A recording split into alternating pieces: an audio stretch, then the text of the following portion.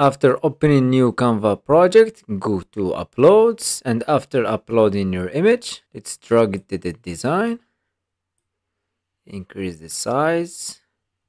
And go to edit, go to Magic Studio and look for Magic Grab and click brush. And try to brush all the parts of the image except the sky.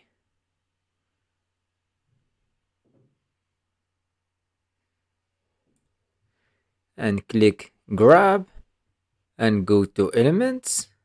And let's type sky.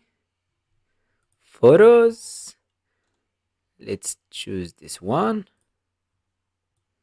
Increase the size. Go to layer and send backward and here's the final results I hope you like this tutorial. Subscribe to the channel to learn more about Canva.